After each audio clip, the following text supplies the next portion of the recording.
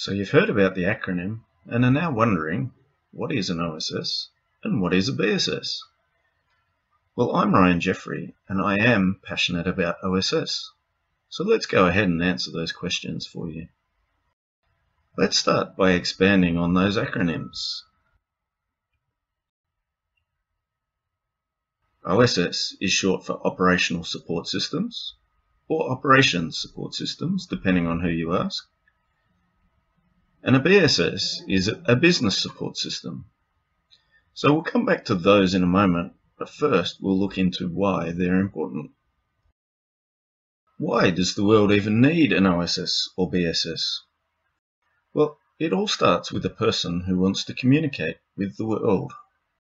This could be via voice, SMS, email, web chat, web browsing, apps on your smartphone, or a myriad of other methods. Or perhaps you just want to be communicated to. But to communicate remotely, you first must acquire a device. That device might be a phone, a tablet, a PC, or a number of other things. But a device alone doesn't allow communication. It needs to connect to another device or devices. But how do the devices connect? Well, that's where one of the most complex and widespread machines on our planet comes in the world's telecommunications network, a global interconnection of communication networks. The long distance infrastructure that helps to form this mesh of networks is mostly built by communication service providers. They're also known as telcos, telecommunication providers, carriers, or just CSPs. If you ask them nicely and pay a hopefully small fee, they will connect you to their network, allowing you to interact with other devices on their network. Not to mention interconnecting you with all of the other CSP networks that they route traffic through. Making the connection to the network sounds easier than it really is. So the CSP has to make a market aware of their offerings, that they exist through sales and marketing.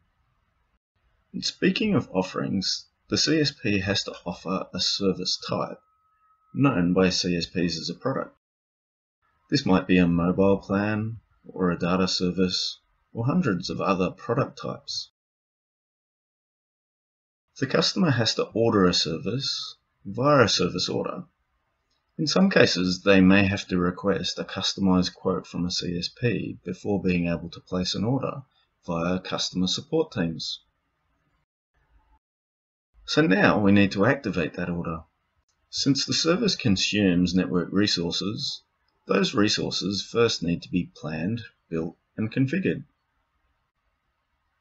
The service instance and or the network needs to be specifically designed and configured activated and maintained.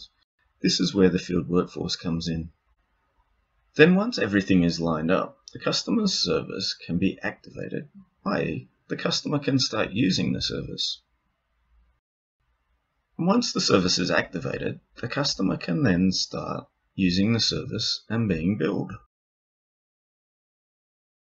We also need to ensure the quality of the customer's experience is high so that they continue to use the service. This requires assurance activities to monitor, maintain, and repair in the event of failures or outages. Now, all of these steps and more are facilitated by our OSS and their close relatives, the BSS. OSS and BSS are the great connectors. They operationalize our networks, converting network assets into revenue generating services. The OSS and BSS are the glue that connect customers to the network.